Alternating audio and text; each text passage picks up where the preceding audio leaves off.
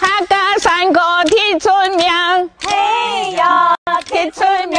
跳跳山歌有美名，嘿呀。凤凰街呢，在天河区的东北部，它是一个全部由客家人聚集的一个地方，可以说是广州市最纯净的一个客家村。